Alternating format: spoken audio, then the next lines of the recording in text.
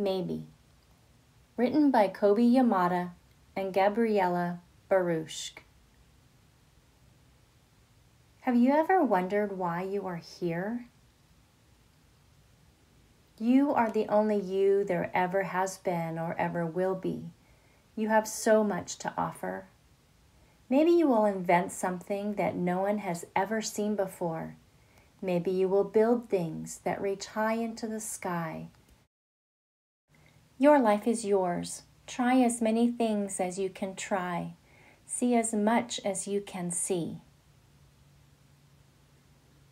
Wherever you go, take your hopes, pack your dreams, and never forget it is on journeys that discoveries are made. Maybe you will help others to see the beauty in each day. Or maybe you will lift cheering crowds onto their feet. Do everything with love. Follow your heart and see where it leads you. Maybe you are here to shine a light into places that have been dark for far too long. Maybe you will speak up for those who can't speak for themselves. Maybe you are here to help in ways only you can. There will be struggles, there will be fears, and it won't always be easy. At times it will feel really hard. You might make a mess of things. You may fall down. You may fail. But you will soon get back up and you will rise a little stronger and a little taller because there really is more inside you than you know. And this world needs your gifts, your talents, your big ideas. And maybe you are just getting started. What if you are only scratching the surface of what you can do and who you can become? What if you have talents you haven't discovered yet? There is something powerful, even magical about you.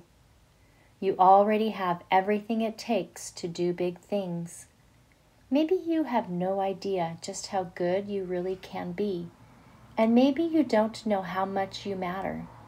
But maybe, just maybe, the world has been waiting centuries for someone exactly like you.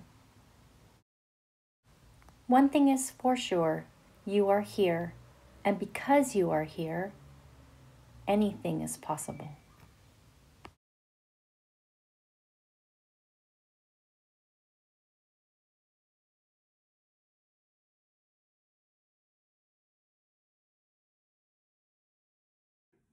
Hi friends. For this lesson, here are the things that you'll need. A sheet pulled from your watercolor paint pad, your watercolors and a brush. You'll need your crayons and a white crayon, and you'll need a container of water. The dandelion is a common plant that grows all over the world. Some think of it as a weed, others as an edible plant. The blossom is soft and downy in the middle with several layers of petals. When the blossom dries up, it leaves a puff full of seeds that blow away and replant themselves.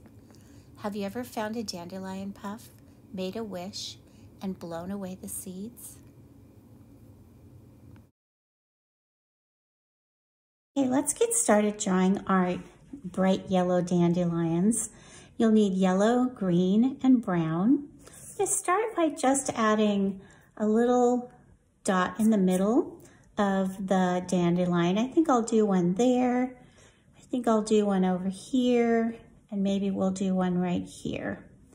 So we start with our yellow. Remember the dandelions have several layers of um, petals, so we'll start with the inside right next to the middle, and it's okay to just go right over that brown dot and I'm just gonna go back and forth in a circle all the way around that little brown dot. Gives me a starting point. That's the center, the fluffy little center of the dandelion. And then we'll do this outside layer of petals. We'll do that all the way around. I'm kind of making a loop and filling it in. No rush, take your time. All the way around. dandelions are edible. Some people add them to their salads. Make sure you talk to a grown-up before you do something like that. The blossoms themselves are edible as well as the leaves and the roots. People use the roots for different things. And the leaves go in a salad. Blossoms can go in a salad, but don't do that unless you check with a grown-up.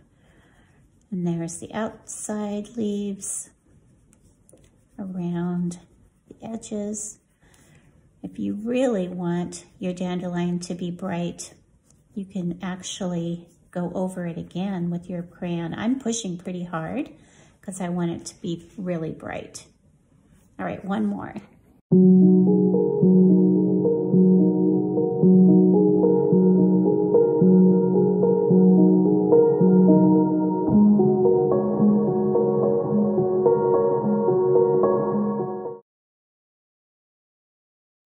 The stems are actually hollow.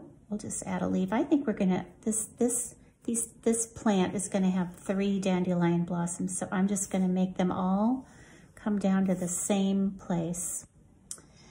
Now let's look at the dandelion leaf. It's actually, this is a small one. It's actually very bumpy and wavy along the edges. That's from a small dandelion. We're gonna make ours a little bit bigger. So let's add, and the leaves actually stay very close to the ground. So we're gonna start at the bottom and we're just gonna make our crayon go back and forth to make those wavy lines. And then when you think your leaf is tall enough, make a big loop there and then come back down to the bottom. And then you can add a vein down the middle. If you want to color it in, that's great but you don't have to because we are going to watercolor over the top. And if you use green paint, you'll already have a green leaf. All right, that's one leaf. Let's do one over here. Start at the bottom, go back and forth and back and forth, back and forth. There's the bottom back there. And then we'll go right back there. There's the leaf. I'm not gonna color that one in. I'm gonna see what happens. And then I think I'll do one more big leaf right down here. back and forth. That one's laying right on the, the grass. That's usually what happens in my yard. And we'll put a line between that. Maybe we'll color that one in a little bit.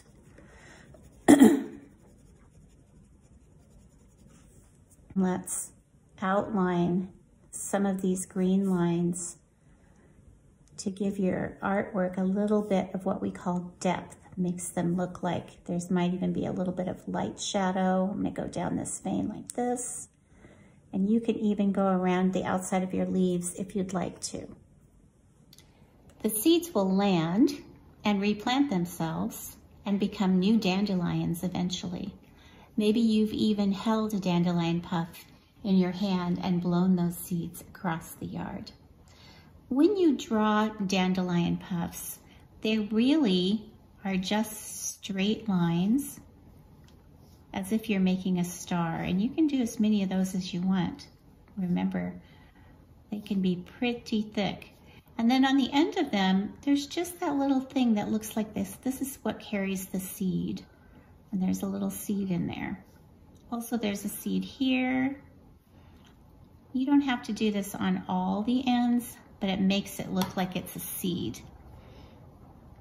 And they also look like little umbrellas, as if you're sending out little umbrellas. You might see these little uh, umbrella-like shapes flying through the air, looking for a place to land. So we'll add those too. Okay, we have our dandelions finished. Let's go ahead and start with our dandelion puffs. So I'm gonna start up here with the same little brown dot to give me a guide for where to start. I think I'll do two dandelion puffs. I'll do one here, maybe one here. And this is where the white crayon comes in. It may be hard to see on your white paper. Make sure that you push hard. And remember, we used straight lines, as if we were making one of those easy stars, right through that brown dot to give us a guide. Let's add a few more here. Then let's add one here. I'm gonna make this one a little bit bigger, make those lines a little bit longer. And then I'm going to add the little U-shaped lines to show where the seeds are. Those are the pieces that fall off, blow away, settle in somewhere new to plant new dandelions. Some people don't want dandelions in their yard. Some people do because they use them for salads do that here. And then remember, we'll add some that are flying away in the sky as if they've been disconnected from the puffs. So we'll put some up here. We'll do a little line and a little U-shaped. Then those little lines that give you, I'm sure this is hard to see. a few of those. Remember, we're gonna watercolor over the top and they'll show up then. So let's give them a stem because when you find a dandelion puff and you make a wish, you know it's on a stem. This stem's gonna run right into that leaf and then jump over, come down here, run right into that leaf. And then this one will come right down here, oops, bump right into that dandelion blossom, come right down here. And they might have a leaf and they might not. I'm going to go ahead and trace those again with my brown crayon.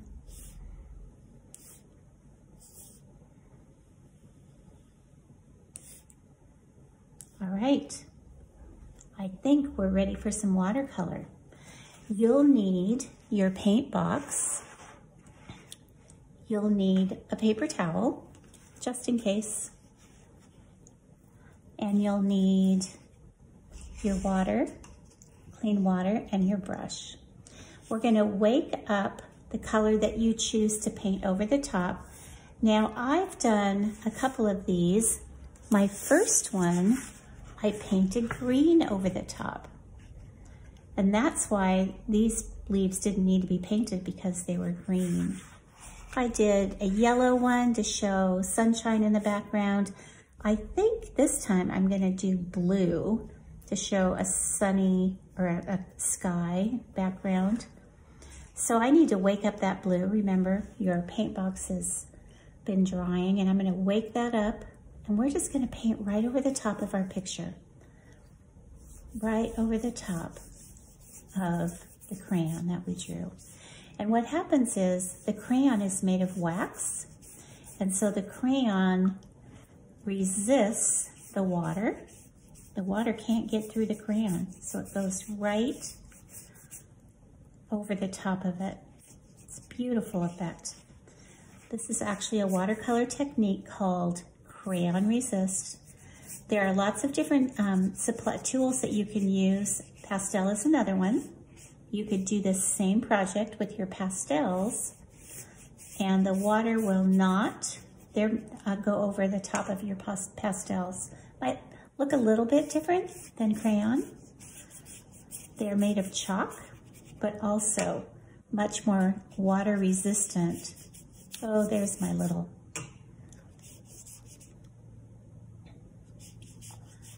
dandelion puffs flying away. So the goal is that you cover your whole paper with watercolor. Doesn't even have to be very thick until you've got a beautiful picture with a gorgeous background. Remember, you can use yellow or green or even maybe um, a light red to show. That would be pretty, wouldn't it? A light red. I might have to try that next time. You can experiment. You can do a few of these. You can use different kinds of flowers as well. Now, if there's um, a leaf that you did not color in, you can always wake up your green and you can go right over the top of it to paint it in if you'd like to.